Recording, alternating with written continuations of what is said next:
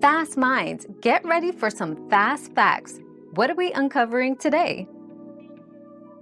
To access deleted photos on your iPhone, navigate to the Photos app and go to the Albums tab.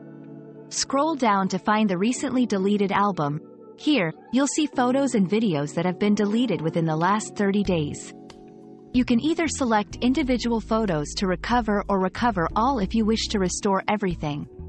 This feature provides a safety net for accidentally deleted memories, allowing you to easily retrieve them.